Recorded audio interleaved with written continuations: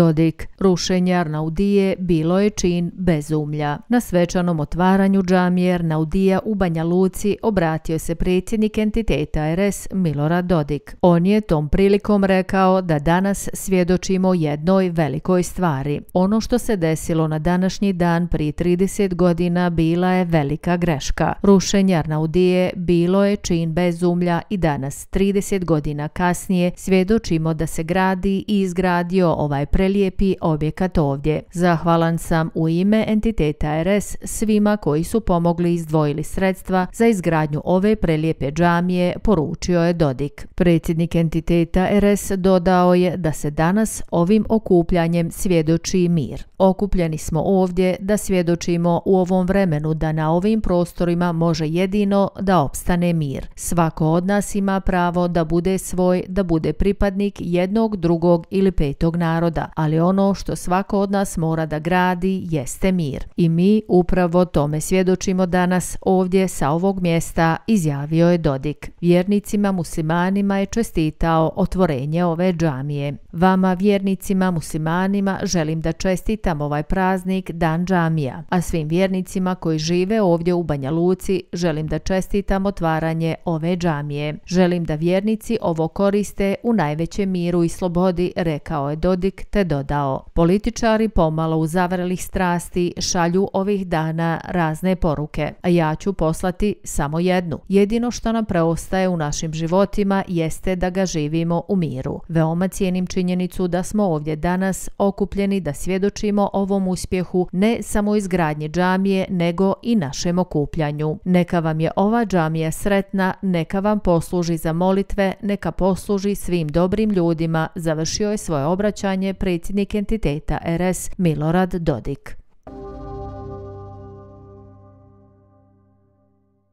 Delegacija vlade Federacije Bosne i Hercegovine na otvaranju obnovljene džamije Arnaudija. Delegacija vlade Federacije Bosne i Hercegovine u kojoj su federalni ministri okoliša i turizma Nasiha Pozder, poljoprivrede šumarstva i vodoprivrede Kemal Hrnjić te raseljenih osoba i izbjeglica Nerin Dizdar prisustvuju danas u Banja Luci otvaranju obnovljene džamije Arnaudija. Obnova vjerskih objekata važna je za povratnike. Arnaudija je i nacionalni spomenik Bosne Bosne i Hercegovine, što daje dodatnu vrijednost i važnost njene rekonstrukcije. Još od 1950. godine ovaj objekat je stavljen pod zaštitu države, a 2003. godine je proglašen nacionalnim spomenikom. Vjerodostojna rekonstrukcija i stručan nadzor obnove govore koliko je važno sistemski štititi nasljeđe u Bosni i Hercegovini. Danas u Banja Luci svjedočimo važnom povratku jednog dijela njenog vjerskog, historijskog i spomeničkog etničkog identiteta koji se 90. godina barbarski pokušao zatrti. Arnaudija, Ferhadija, koja se nalazi u blizini i drugi vjerski objekti sa izvanrednom umjetničkom, arhitektonskom i historijskom vrijednošću daju Banja Luci sjajne sadržaje i raduje nas što je federalna vlada mogla učestvovati u njenoj obnovi. Poručili su federalni ministri, saopšteno je iz Ureda vlade Federacije Bosne i Hercegovine za odnose s javnošću.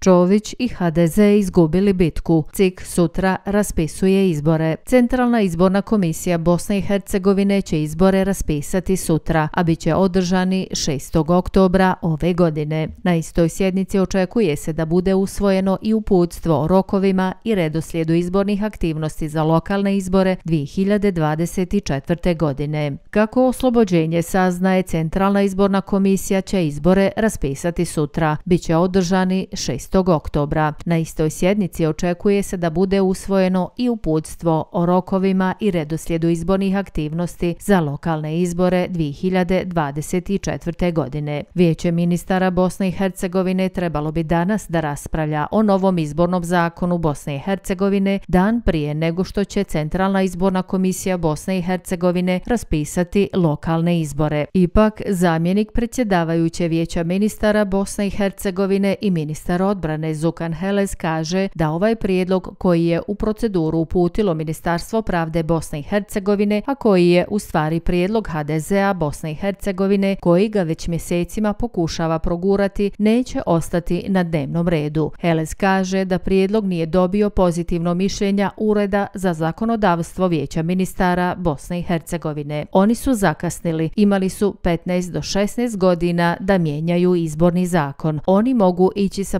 prijedlozima, ali će se izmjene i dopune izbornog zakona tek eventualno promjenjivati 2026. godine, a kada su u pitanju lokalni izbori 2028. Za ove je kasno i prekasno, kaže Vehid Šehić, predsjednik strateškog odbora koalicije pod lupom. Tamo gdje je bilo potrebno usvojene su i prečišćeni tekstovi radi lakšeg snalaženja, saopšteno je iz Centralne izborne komisije Bosne i Hercegovine. Na sjednici je bilo govora i o uputstvu o provođenju pilot projekta na lokalnim izborima 2024. godine uz upotrebu izbornih tehnologija. Ako smo iskreno za vladavinu prava, ako smo istinski za ustavni patriotizam, da poštujemo ustav i zakone ove države, ne bi trebalo da bude problema, jer će Centralna izborna komisija, koji je ovlašten u skladu sa izbornim zakonom Bosne i Hercegovine, donijeti odluku o održavanju lokalnih izbora 150 dana prije samog dana održavanja izbora i to bi trebalo da bude 8. maj, kazao je Vehid Šehić, predsjednik strateškog odbora koalicije pod lupom. Naglašava da se nakon donošenja odluke ne mogu vršiti nikakve izmjene izbornog zakona Bosne i Hercegovine jer je preporuka OSCA i Evropski standard da se u izbornoj godini ne rade nikakve izmjene izbornog zakona. Pogotovo je nemoguće i bilo bi u suprotnosti sa zakonom da se to radi nakon donošenja odluke. Podsjetiću da je 2004. godine donesen također zakon o izmjenama i dopunama izbornog zakona Bosne i Hercegovine o učešću nacionalnih manjina na lokalnom nivou. Stupio je na snagu šest dana nakon što je Centralna izborna komisija Bosne i Hercegovine objavila i donijela odluku o održavanju izbora i oni su se tek mogli primjenjivati 2008. godine. Zakon je jasan, treba ga poštivati i ja ne vidim nikakve probleme za održavanje izbora jer i po izbornom zakonu je jedino CIK ovlašten da donosi odluke, kao i da provodi izbore na svim nivoima, precizira Šehić.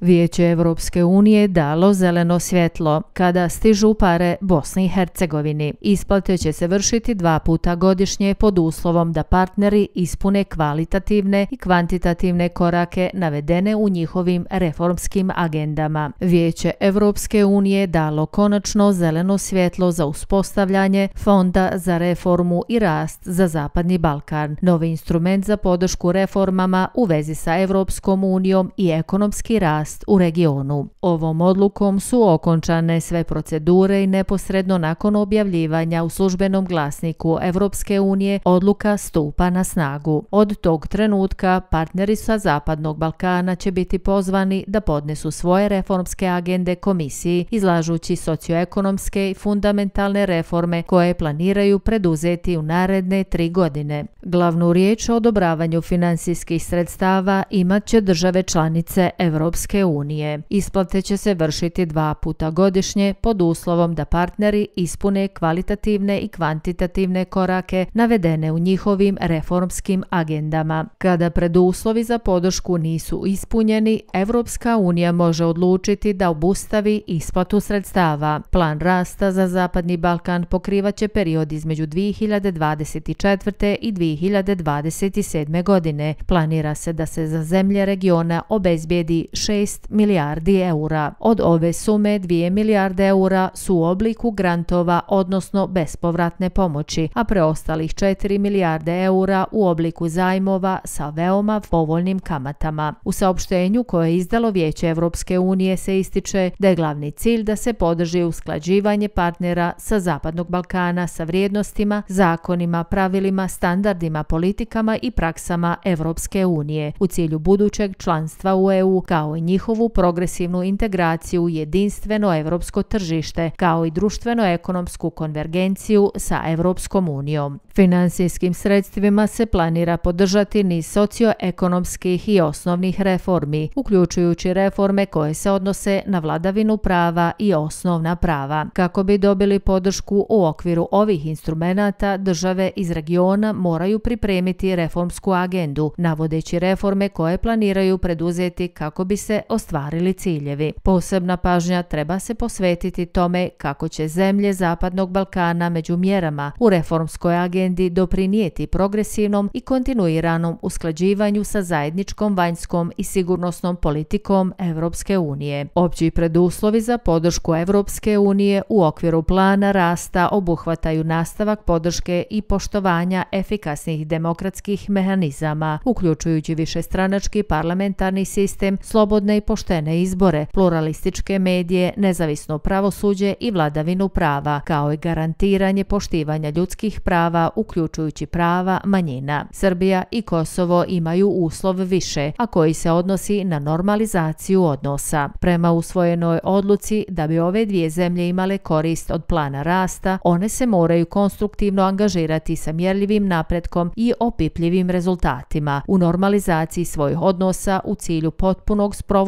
svih obaveza koje proizilaze iz sporazuma o putu ka normalizaciji i aneksa primjene, kao i sve prethodne sporazume o dijalogu, te da se uključe u pregovore o sveobuhvatnom sporazumu o normalizaciji odnosa. Thank you.